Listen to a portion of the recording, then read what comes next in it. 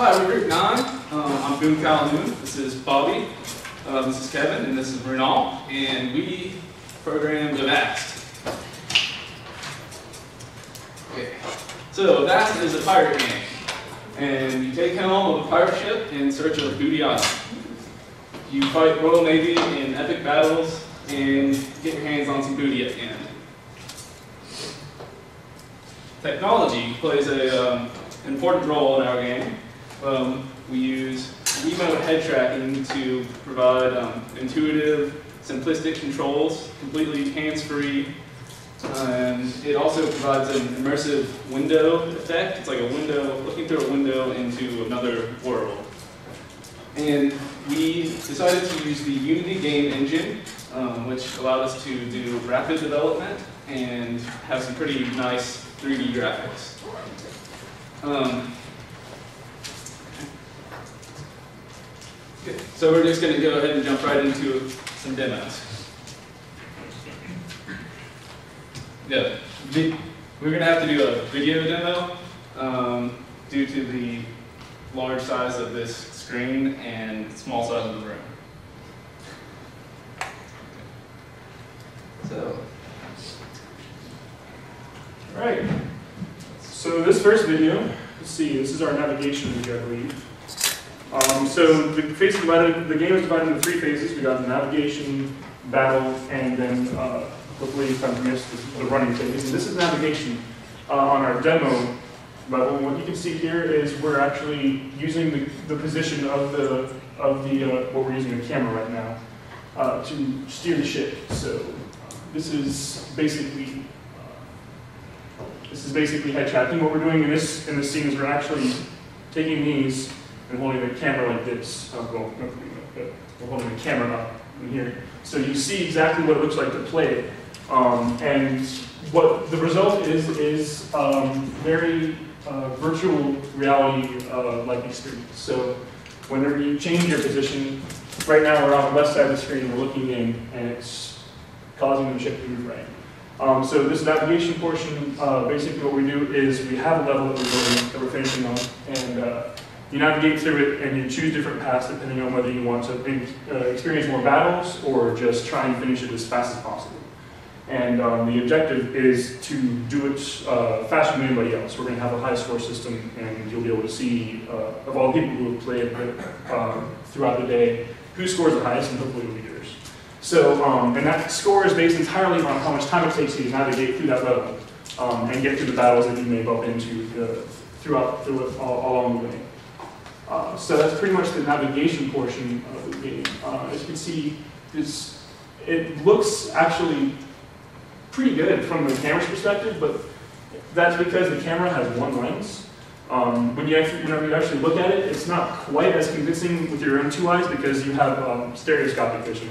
And um, on, a, on a 2D planar surface, it's just not possible to get you know perfect virtual reality experience without um, something like the, uh, the polarized glasses that they use, for example, in Avatar. Um, so that's that's pretty much covers the uh, navigation portion. I think now we're going to talk about some. Bill's going to talk about the AI. Do you- Can you change the speed by how close you are to the screen? Yes, your proximity changes the speed um, of the ship. You can, I think, within a uh, like up to you can get up to a meter away from the camera, Okay. and um, that means you go as fast as you can, and then Um, farther away slower. but it also decreases your ability to steer. Right. So there's a compromise. Mhm. You can't always just go straight ahead as fast as possible. Okay, so this is, of course, an AI for computer games class. So we had to um, put some AI in the game. Um, and I'd like to show you what we have so far. Okay, so you can see a, a ship up there towards up in the right hand corner and it's basically just patrolling right there. It's actually just sitting there right now. Um, and as we come around this corner, we should um, trigger it to come up alongside of us and initiate a battle. Okay, so, and movement here, there it comes. So it's basically going to just come up alongside of us and start shooting cannons at us. Um, in the full version of the game, once it's complete and everything's linked together, uh, hopefully very soon, it will initiate um, a battle sequence. You'll basically go to um, a cannon view where you will control the cannon and be able to um, sink the enemy ship. And that's exactly what we're going to show you next.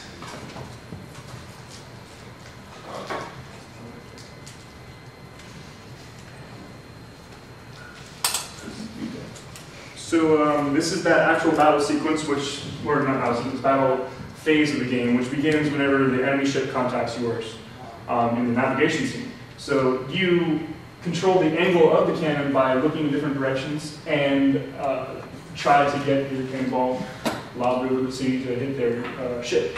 And basically, you just hit it as many. Uh, I think the, the number we have is three. You hit it three times, and uh, that ends the battle. And so basically, what happens during battles, or not during battles, but the point of battles is to kind of slow you down to make you take more time. If you can finish the battle very quickly, then you actually you actually get a bonus to the amount of time that you, you take to progress through the entire game.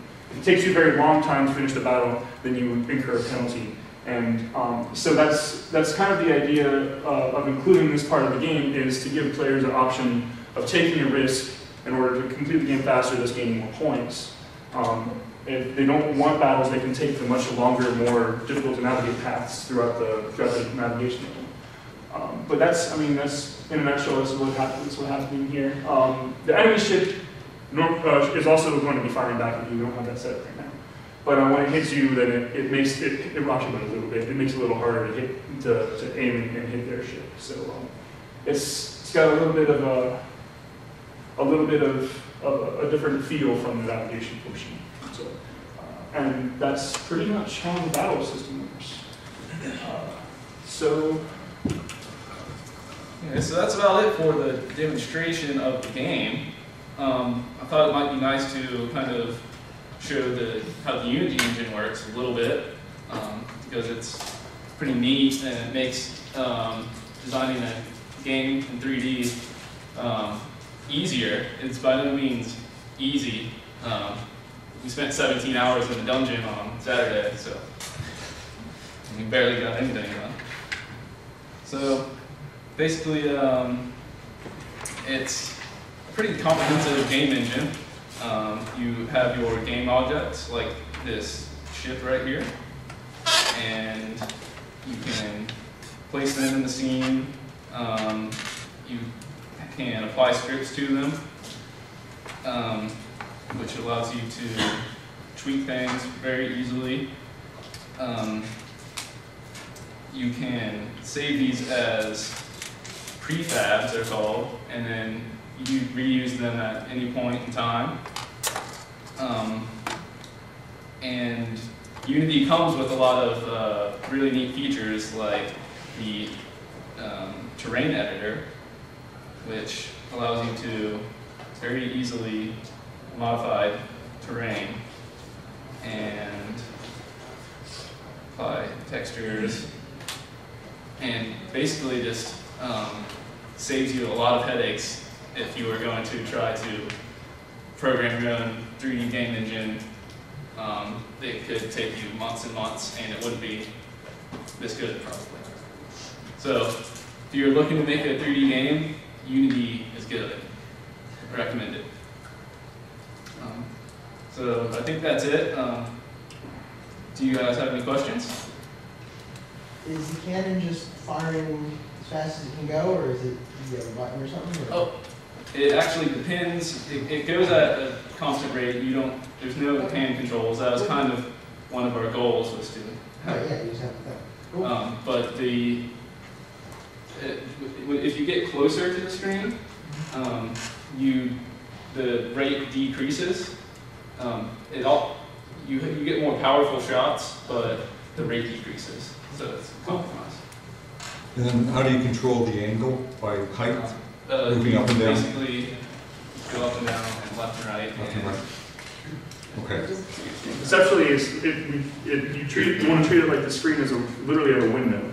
And if you want to see more of the world above the window, you need to you know, down look up. So um, once, it takes a little while to really wrap your mind around that whenever you start playing it. But after, after, after a few minutes, it really starts to feel really natural. Um, and you can do a lot of, you can control very, very accurately with very relatively little uh, practice and uh, effort. How hard was it to uh, integrate the Wii controller stuff with it? Um, very difficult. Okay. Um, to, to integrate it into XNA, which we were originally Mhm. doing, um, was pretty difficult. And then when we decided to move to Unity, it became even more difficult um, because we can, couldn't directly use the Wiimote library. Um, we couldn't reference the DLL in, in here. So I actually had to uh, create another a separate program, a .NET program, that does the head tracking and uses a, a UDP socket to send all that Oh, wow. to Okay. Unity. Alright. So But it works. it works great though. arguably better than the uh, the original guy's demo did because uh, um, whenever we that the demo done by Johnny Lee, who's the guy who, uh, kind of sort of pioneered this idea. Um, uh, his demo was good for the like the 40 some inch TV that he was doing it on, but whenever we, we scaled it up to something this big, it got really chunky and jerky and stuff. Um, then Boone had the great idea to, to take that data that was coming in, and instead of just using the raw data to, um, to you know, adjust the respective things, average, actually average out several, uh, about like what, 50, um, 50 of the Win- Windows reports at a given time, and that smooths things out a lot more. Because without that, I don't think this game would be playable actually, uh, because at least not not at this scale, because it, it just gets too weird. And then what, what did you have to make in terms of the hardware? I know you got the glasses you're wearing. Basically, the glasses and this. Need a, need, you need uh, infrared LEDs, um, a Wiimote, and a Bluetooth-enabled computer. All I did with these, these are actually regular LED um, safety glasses. They have these things mounted on the sides on the lenses. I took them off, uh, replaced the, the, the visible light LEDs with infrared ones, mounted them up here to make it a little more profile, uh, low profile and remove the lenses so you can wear them over regular glasses. Um, and that's essentially the most hardware tweaking that had to be done for this entire project. Otherwise, everything was also, was pretty much already built. Any others? What other 3D engines did you consider? You mentioned you started that today. Um, well, of course, UK, and there's some few XNA engines, but they weren't very good. So decided to jump to Unity. One of the first choices.